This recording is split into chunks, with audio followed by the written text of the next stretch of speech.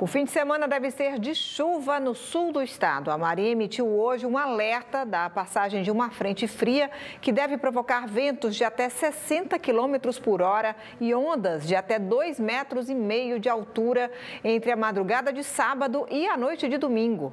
A frente fria também deve chegar aqui na capital, o que já causa apreensão para os moradores de áreas de riscos de Salvador. E mesmo com sol, o solo encharcado pode causar deslizamentos de terra.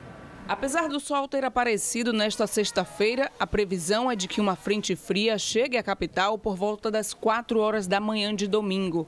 Aviso de chuva é sempre motivo de alerta para quem mora nas áreas de risco da cidade. Rachadura e a minha casa está cheia, filha. Ela está cheia, a laje também está um pouco caindo já de tanta chuva que está tendo esses dias.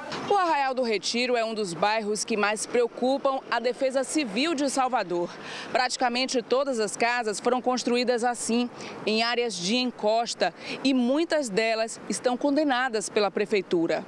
As poucas casas que não estão nas encostas ficam ao redor desse córrego, que sempre transborda. A gente fica tudo ilhado, porque não pode ir para lugar nenhum. Se vai para frente, está tudo cheio de água. Se vai correr da encosta, vem um córrego.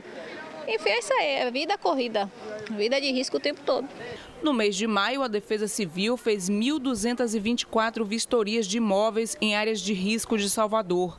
Os maiores acumulados de chuva foram registrados na base naval de Aratu, Pirajá, Rio Sena e Itacaranha. As equipes que fazem as notificações apontam também a possibilidade de que esses moradores venham aqui na sede da Defesa Civil de Salvador, munidos da notificação, para a realização do cadastro, que vai para a nossa Secretaria de Promoção Social fazer o pagamento do aluguel social no período mais chuvoso. Hoje pela manhã, a Defesa Civil iniciou o treinamento de mais uma turma de voluntários.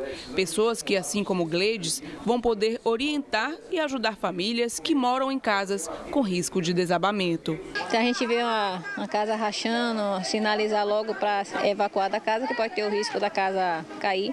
Ensina também os primeiros socorros, caso tenha alguém machucado, alguma coisa, a gente também faz o que pode, porque nem toda hora toda a equipe do, da Codesal está disponível para estar tá na comunidade, principalmente em época de chuva, porque é toda Salvador.